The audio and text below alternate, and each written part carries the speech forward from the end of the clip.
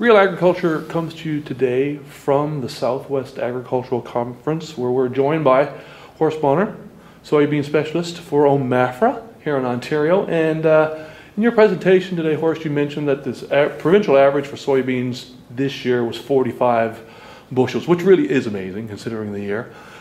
Given that, and all we, we endured this year, what, what's the, what is the potential yield for soybeans in Ontario? Yeah, well, thanks for the invitation. You know, it's a very interesting question. You'd think that'd be easy to answer, but for Ontario, it's actually harder than you might think.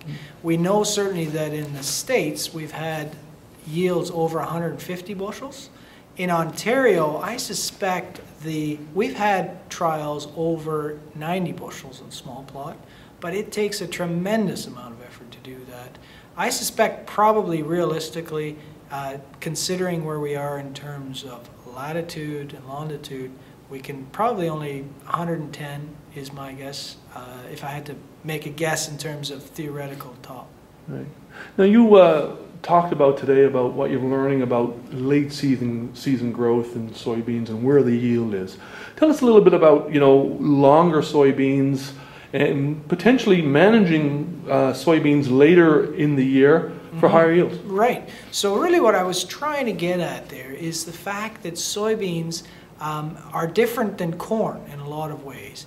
And the most of the yield is really put on in the second half of the growing season, right? Mm -hmm. So then the question becomes, how do you manipulate the second half of the growing season? And what we're trying to do by growing these longer day beans, really we're trying to maximize the growing season, right? Because it's just a little factory. What you're trying to do is capture sunlight, use the nutrients in the soil. It's just a little factory. And the longer the factory runs, the more seeds you're going to get. So that's why we're talking about these longer day beans. And that's why we, part of the reason why we get more yield by planting early, and part of the reason why we get more yield by seeding a longer day bean is because we're stretching out the growing season in both directions. Right.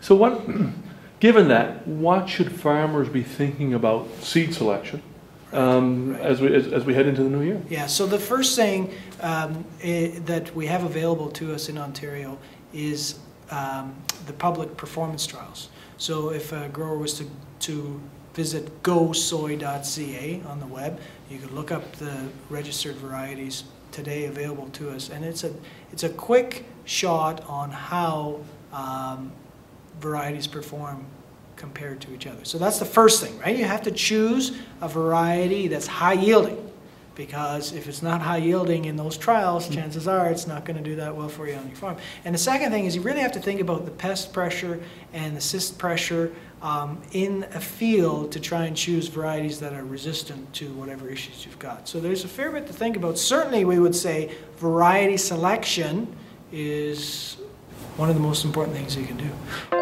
Thank you.